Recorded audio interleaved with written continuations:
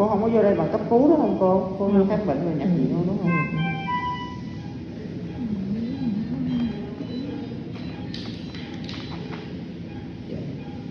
nó cũng bình thường tôi cũng thấy bự quá. Dạ hả? Thấy nó bụng mỏng. anh đi ờ, cắt cho nó với nó mỏng nữa còn. Có gắn thiệt hay không dạ gắn lúc nay không. Gãy hết rồi. Vậy hả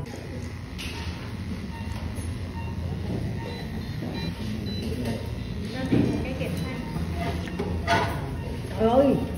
Cái trứng gì? Trứng vịt gì mà trứng vịt? Thì sách vở em nói trứng vịt đó. Trứng này vì trứng gà điểu. Á thường ta xài tới trúng ngỗng là hết cỡ rồi cái là đủ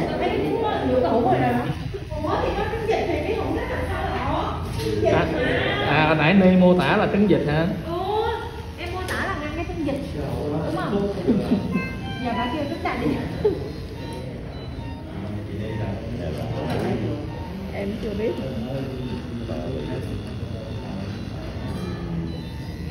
Anh sơn để tại cái đây năm cho anh sơn hả? Để cái đây năm cái này hả? Lâu rồi. Không sao năm được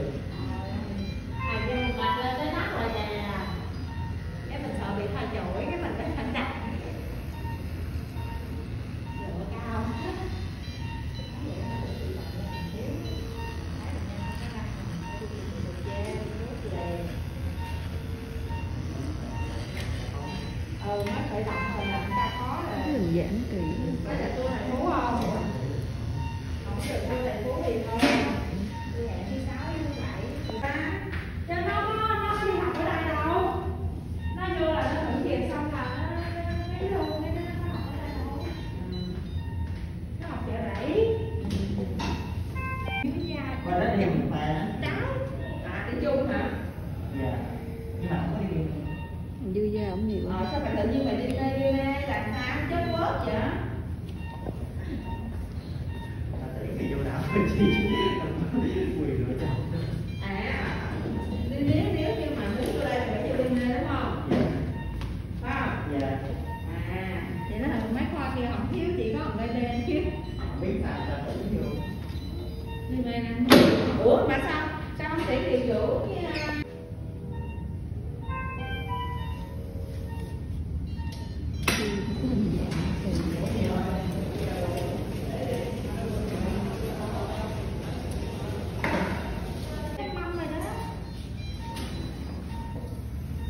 mà